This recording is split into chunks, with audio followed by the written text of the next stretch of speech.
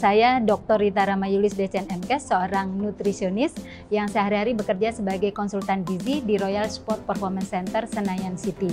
Pada kesempatan ini saya ingin berbagi tentang bagaimana pengaturan gizi yang tepat untuk seorang atlet sepak bola.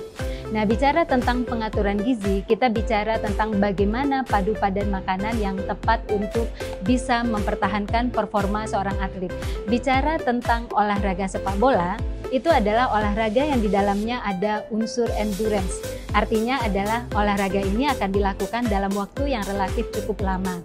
Tentu saja syaratnya adalah mesti ada ketersediaan energi yang secara berkesinambungan bisa dihasilkan saat melakukan latihan ataupun pertandingan tersebut. Nah, bicara sumber energi yang paling efisien dari makanan itu adalah dari makanan kelompok karbohidrat. Nah, artinya adalah seorang atlet sepak bola itu harus senantiasa memenuhi kebutuhan karbohidratnya. Walaupun pada kenyataannya yang paling sering terjadi adalah bukan pemenuhan kebutuhan karbohidrat, tapi lebih cenderung memenuhi kebutuhan lemaknya. Jadi dominan dari pola makannya itu lebih banyak yang mengandung lemak tinggi. Nah, sekarang kita coba membahas tentang karbohidrat. Karbohidrat ini ada dua jenis ada yang sifatnya kompleks, seperti kita bicara tentang nasi putih, kemudian nasi merah, roti putih, roti gandum, kemudian tepung-tepungan, ubi, dan singkong. Ini adalah karbohidrat kompleks. Tapi ada juga yang kita sebut sebagai karbohidrat sederhana, seperti misalnya gula, gula, gula putih, gula merah, sirup, dan lain sebagainya. Nah, yang bisa memberikan energi secara berkesinambungan pada seorang atlet dan untuk menumpuk cadangan glikogen di dalam tubuhnya itu adalah karbohidrat kompleks. Nah, selayaknya makanan yang harus dikonsumsi per periode waktu secara rutin dan berkala adalah karbohidrat kompleks ini. Karbohidrat kompleks bisa diletakkan adalah ketika makan utama dan ketika selingan. Tetapi yang perlu diingat juga, karbohidrat kompleks ini bisa menjadi energi yang siap pakai, yang efisien kalau disertai dengan mikronutrien yang cukup. Nah, mikronutrien itu kita sebutlah dengan istilah gizinya ada B1, ada B3, ada B6, ada B12, dan ada magnesium. Simpelnya adalah ketika bicara B3, B6, B12 itu kita peroleh dari lauk pauknya. Jadi seorang atlet ketika makan nasi dengan lauk pauk ini sudah bisa diolah karbohidrat menjadi energi. Tetapi ingat, lauk yang biasa dikonsumsi kalau tinggi lemak itu justru memperlambat penyerapan karbohidrat ini sebagai energi. Contohnya, makan nasi dengan ayam goreng tidak akan efektif menghasilkan energi. Tetapi makan nasi dengan ayam dipepes atau diungkep itu menjadi lebih baik untuk menjadi sumber energi. Nah, selain dari lauknya, juga yang diperhatikan adalah ada tidaknya magnesium. Bicara magnesium, kita bicara adalah tentang sayur-sayuran karena magnesium itu bersumber pada sayur-sayuran. Jadi ketika seorang atlet makan utamanya hanya nasi dengan olahan lauk tanpa sayuran, itu juga tidak efektif menjadi energi. Jadi harus disertakan dengan magnesium ini tadi. Nah, bagaimana kelola makanan utama ini selalu tampil dalam jumlah yang proporsional? Ini harus menjadi bahan pertimbangan. Maka kata kuncinya adalah Karbohidrat ini ada setiap makan utama didampingi dengan lauk yang tidak diolah dengan cara proses menggoreng, tidak diolah dengan proses lemak yang berlebih seperti santan kental, dan ada beberapa jenis lauk yang tidak dianjurkan seperti misalnya ayam dengan kulit, bukan pilihan yang baik.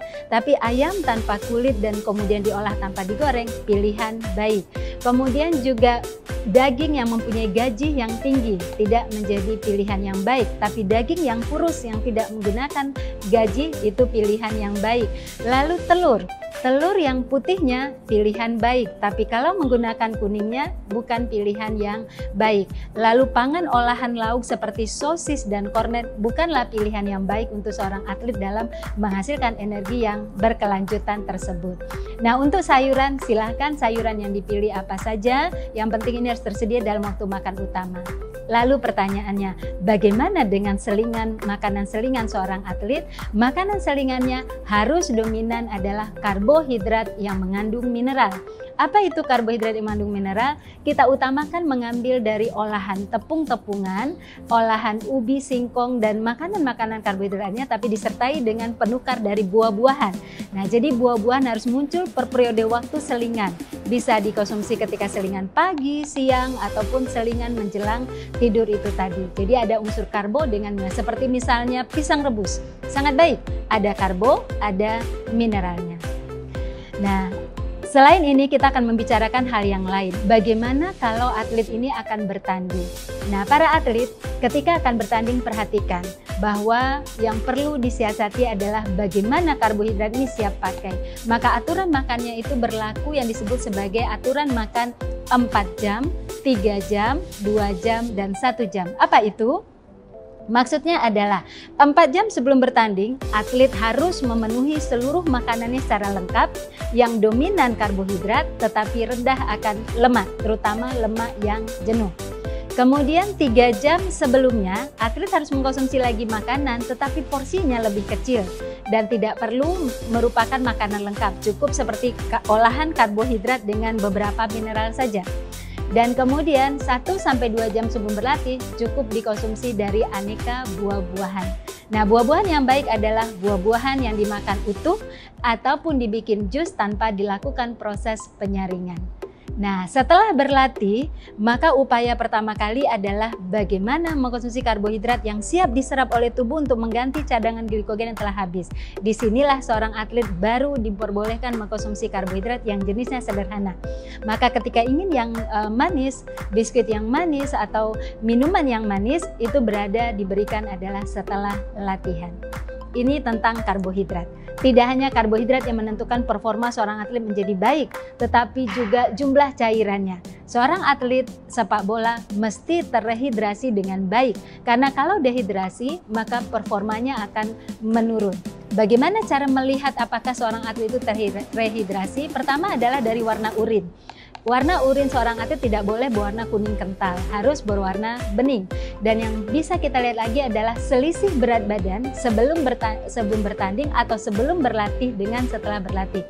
Kalau ada selisih penurunan berat badan sebelum berlatih dan setelah berlatih itu terlalu jauh, maka ini menandakan seorang atlet itu dehidrasi. Nah, oleh karena itu pemenuhan cairan per periode jam itu perlu dilakukan. Nah, jenis cairan kita sesuaikan dengan lama latihan dan intensitas latihan. Kalau latihannya hanya 30 menit cukup cairan air putih. Tapi kalau latihannya di atas satu jam dan intensitasnya sedang dan tinggi itu perlu mengganti dengan air yang mengandung elektrolit. Air elektrolit bisa diperoleh dari bentuk pangan olahan yang sudah jadi atau bisa juga dari pangan harian seperti air kelapa atau bisa juga dari air buah-buahan. Nah, kalau intensitasnya sangat tinggi latihannya harus menambahkan karbohidrat sederhana. Jadi, air putih dengan air elektrolit dan air yang mengandung glukosa. Ini adalah jenis-jenis cairan yang mesti dipenuhi. Dan syarat memenuhi cairan adalah cek timbangan berat badan tadi. Kalau setelah berlatih kehilangan berat badan 2 kilo, maka seorang atlet harus mencukupi cairannya minimal 2 liter setelah berlatih ditambah dengan jumlah cairan yang dikonsumsi ketika berlatih tersebut. Nah, selain kita bicara cairan, kita juga bicara makanan-makanan Indonesia yang pada umumnya sangat merangsang atau menstimulasi saluran pencernaan seorang atlet.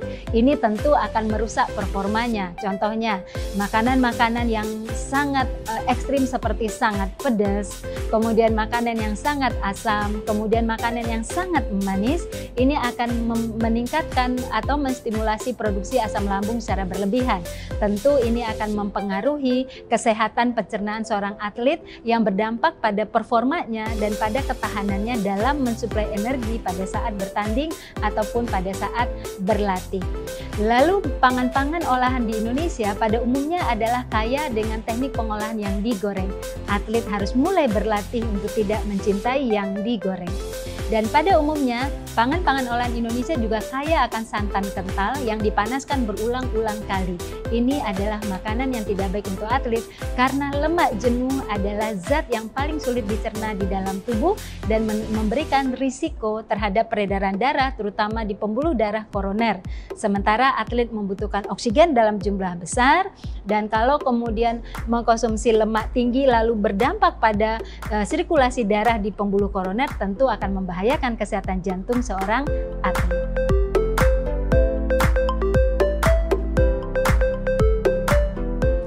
pada kegiatan atlet sepak bola itu ada periode-periodenya. Ada yang kita kenal dengan periode pramusim. Nah, biasanya pada saat pramusim, seorang atlet sepak bola itu mempunyai uh, tujuan yang berbeda satu sama lain. Ada yang ketika pramusim itu seorang atlet mencoba ingin meningkatkan masa ototnya. Tapi juga ada yang pada pramusim itu si atlet mencoba menyesuaikan komposisi lemaknya yang berlebih menjadi lebih normal.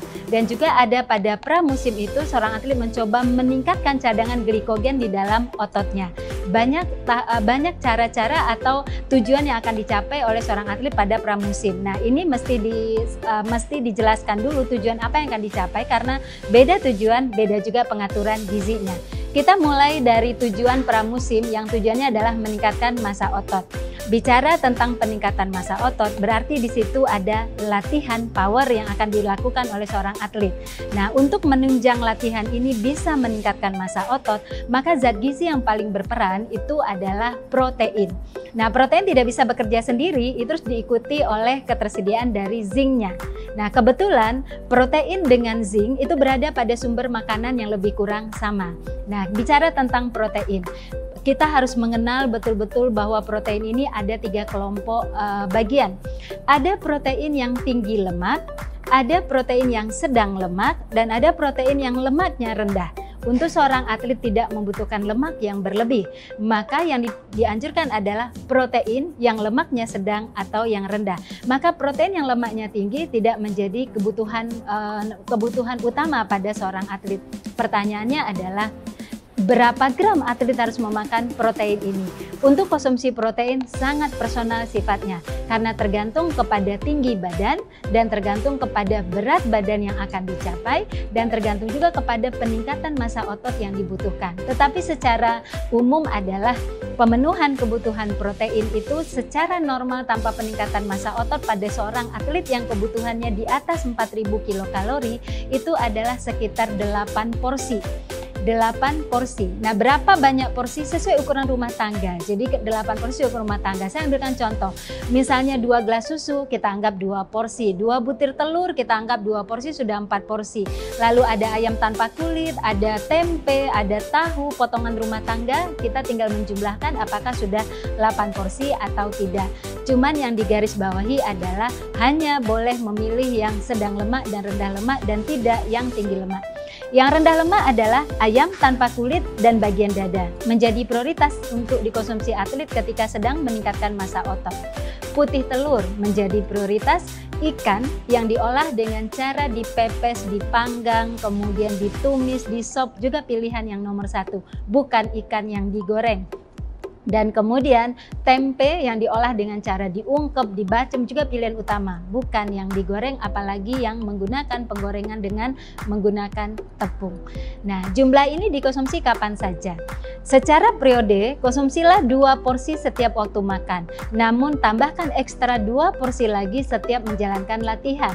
Bentuk yang paling mudah dipenuhi adalah bentuk putih telur dan bentuk susu. Susu bisa diminum sebelum berlatih dan bisa juga setelah berlatih. Sedangkan putih telur bisa dimakan di pagi hari, itu bisa dua atau tiga butir sekaligus. Ini mampu meningkatkan masa otot. Dan untuk membuat protein ini bisa bekerja lebih maksimal, ingat atlet harus menambahkan asupan dari sayurannya. Kalau tidak dalam masa pertandingan, semua jenis sayur boleh dikonsumsi. Ketika kecuali ketika masa pertandingan, maka sayur yang seratnya tinggi dan gasnya tinggi itu harus diminimalkan. Nah, selain untuk meningkatkan masa otot, seorang atlet juga saat pramusim itu mencoba untuk meningkatkan cadangan glikogen di ototnya. Maka lakukanlah yang disebut sebagai karbohidrat loading.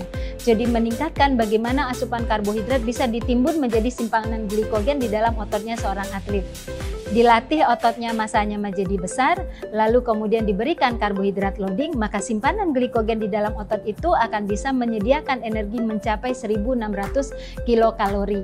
Nah, bagaimana karbohidrat loading itu adalah tinggi karbohidrat yang serapannya lebih bertahap dikonsumsi dalam tiga hari pertama lalu kemudian diminimalkan dengan mengurangkan juga jumlah latihan sampai tujuh hari sebelum bertanding. Jadi karbohidrat loading adalah upaya meningkatkan simpanan glikogen yang dilakukan tujuh hari sebelum bertanding.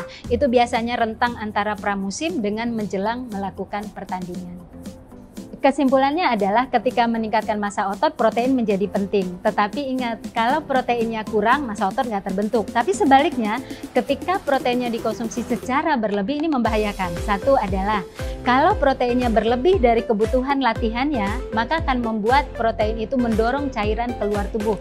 Atlet resiko untuk dehidrasi. Ketika proteinnya dikonsumsi berlebihan, itu akan membuat ginjal bekerja lebih berat dalam proses keseimbangan asam basa dan memecah molekul protein itu juga mengalami kesulitan sehingga itu akan membuat masalah pada ginjal atau terjadi gangguan pada ginjal. Dan kemudian kita ketahui bahwa protein identik dengan lemak. Kalau berlebihan maka asupan lemaknya si atlet juga akan meningkat, berdampak pada komposisi tubuhnya terutama komposisi lemak pada tubuh seorang atlet. Jadi lebih aman adalah seorang atlet harus mempunyai ahli gizi di dalam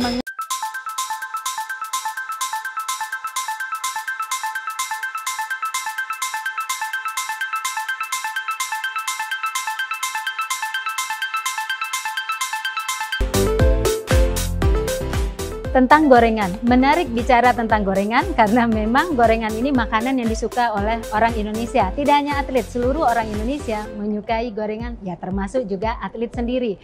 Nah, tentang definisi gorengan adalah bukan goreng-gorengan yang dipikirkan ada pada gerobak gorengan, bukan itu. Gorengan itu adalah seluruh makanan yang diolah dengan proses penggorengan menggunakan minyak yang banyak dan suhu yang tinggi. Contohnya, ayam goreng itu goreng-gorengan. Sambal setelah diulek kemudian dimasukkan ke dalam minyak panas dan kemudian dibiarkan beberapa saat di atas api, itu gorengan. Empek-empek kemudian diolah dengan cara dimasukkan ke dalam minyak banyak, itu gorengan. Jadi gorengan itu adalah seluruh makanan yang diolah dengan teknik memasukkan makanan ke dalam minyak yang banyak dan apinya besar, maka itulah kategori goreng-gorengan. Terkait dengan goreng-gorengan, ketika suatu makanan diolah dengan cara digoreng, maka makanan itu akan mendapatkan tambahan lemak yang tinggi di dalam makanan tersebut. Kita ketahui, yang paling sulit dicerna oleh tubuh kita adalah lemak. Betul bahwa 1 gram lemak menghasilkan 9 kilokalori, tapi ketika dia diubah menjadi energi di dalam tubuh suatu hal yang sangat sulit. Sehingga kalau seorang atlet mengkonsumsi lemak yang tinggi dalam bentuk gorengan ini akan membuat tubuhnya justru tidak bertenaga karena sulit sekali dipecah menjadi energi yang siap pakai. Tidak hanya itu, Ketika proses penggorengan ini dilakukan dengan minyak yang telah dipakai berulang-ulang kali, bisa jadi jenis lemaknya tidak lagi hanya sekedar lemak jenuh, tapi juga lemak trans. Nah, lemak trans akan mengganggu keseimbangan profil lipida atau lemak darahnya seorang atlet. Membahayakan sekali kalau kemudian lemak itu berada pada pembuluh darah koronernya seorang atlet.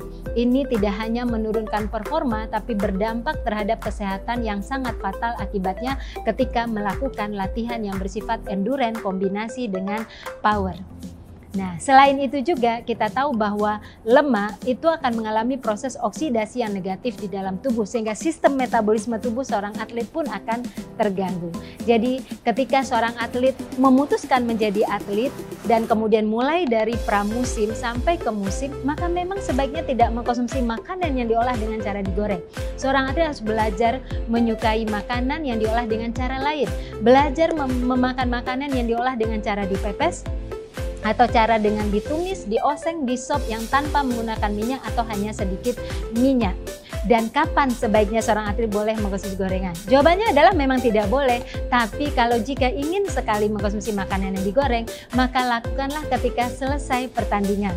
Jadikan ini sebagai bonus atau hadiah bagi seorang atlet yang telah mendapatkan kemenangan dalam pertandingan, maka setelah itu dia tidak ada lagi musim, uh, musim pertandingan yang dekat dengan waktu itu, maka boleh susu gorengan yang dia suka. Tapi selagi pramusim dan musim tidak dianjurkan sama sekali karena akan menurunkan performa dari latihan yang telah diperoleh itu tadi. Nah, maka saya katakan, seorang atlet yang ber, berasal dari Sumatera Barat senang rendang, konsumsilah ketika setelah bertanding dan mendapatkan kemenangan. Kemudian seorang yang berasal dari Palembang senang pempek, konsumsilah pempek yang digoreng ketika setelah selesai masa pertandingan. Tapi kalau pempeknya dengan cara dikukus, it's okay. Itu bagian dari sumber karbohidratnya seorang atlet. Tapi ketika digoreng itu masuk dalam kelompok goreng-gorengan. Kadang-kadang di dalam jajanan Indonesia seperti pecel lele, jangankan ikan lele, tahu tempe yang digoreng, tetapi sambal digoreng, kemudian kolnya pun digoreng. Ini jelas bukan makanan seorang atlet.